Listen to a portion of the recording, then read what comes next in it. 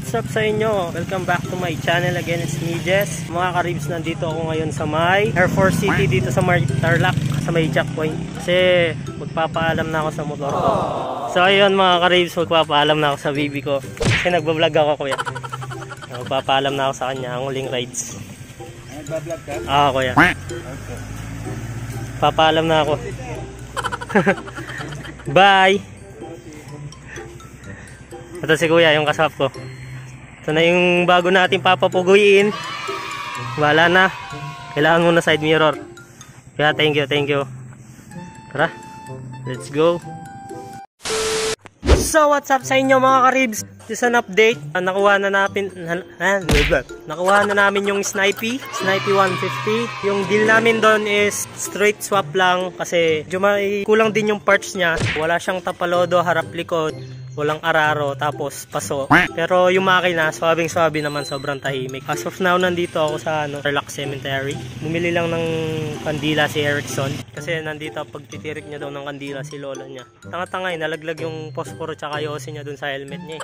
tayin ko lang siya dumating tapos iti-test drive ko mga body ay mga karibs. Sanahin ko nang tawagin ko yung mga karibs. Ba't ang blurred hindi ko na masyadong na video dun sa may Air Force mismo kasi nahiya ako dun sa mga Air Force huh? mga Air Force doon. Nahiya lang ako mag-video kasi. Ano yun ah, sinabi ko na nga lang na nagbablog ako eh. Para di masyado nakakaya. A few moments later. So, eto na yung snipe natin guys. Ito siya. Test drive na natin siya kung lumalaban, buddy. Uh.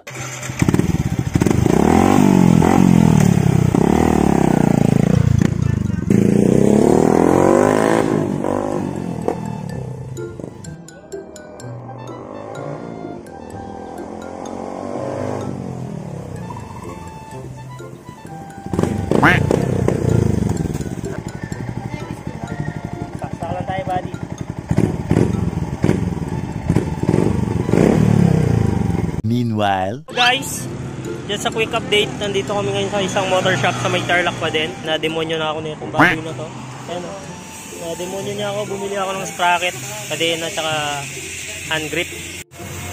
Kailangan na natin papugiin ng maga.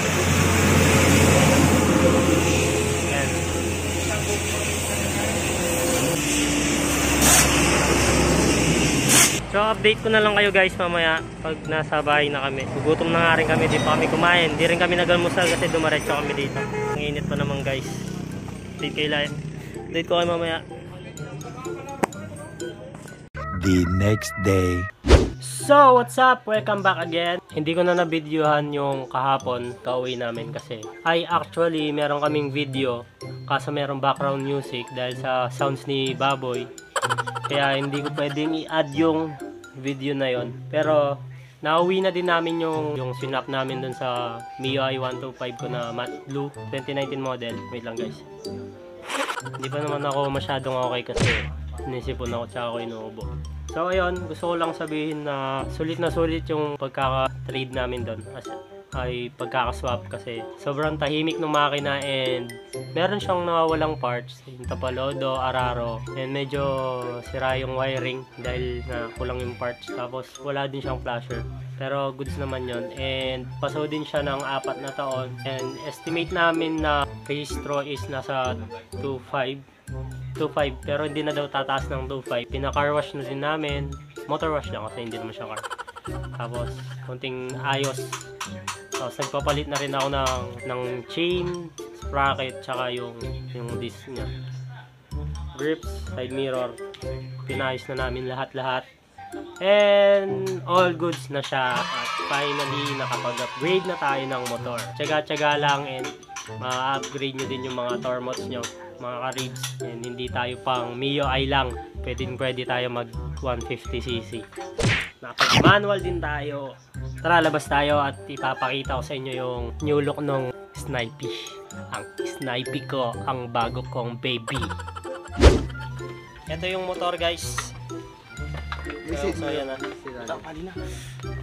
naka gold bolts pa. Ito yung kasama ko na ipag-swap yung driver ko nung papunta kami ng Tarlac.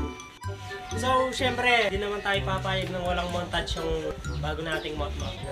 3, 2, 1!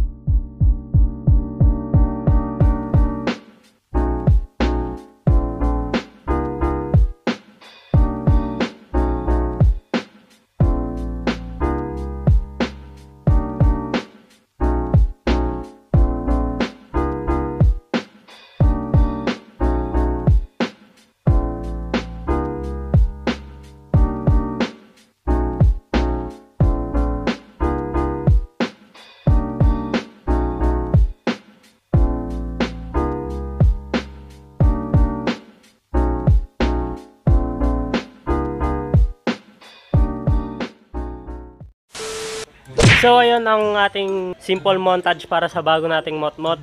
And suggest ko lang sa mga gusto mong upgrade, konting tiyaga, tiyaga, tiyaga, post lang ng post. Hanggang uh, makachempo kayo ng mga naka-sniper na gustong makiswap sa mga motor nyo. Just for example, yung sa akin, 125. Hindi ko man din expect na may makikiswap sa akin ng straight swap lang. Oo, may issue, pero worth it na worth it. Kasi pag naayos to, itong Itong motor na to, sulit na sulit guys. And trinay ko na din yung top speed niya nung nauwi namin. Ako nag-drive nung sa Clark, top speed. Pero hindi ko pa naman pinas, pinakasagad. And na try ko na siyang i-140. Sobrang bilis body. So yon share ko lang din na tapos na ako magpa-check up. And as of now, naka-sick leave ako dahil sinisipon ako at inuubo ako. Dahil biglang sinumpong yung tonsils ko. Tonsillitis. Ano ako, tonsillicitors. So that's it for today's video and sana na-enjoy na-enjoy. Nag-enjoy kayo and don't forget to like, click the notification bell para maging updated kayo sa mga susunod ko pang videos. That's it guys. Just out.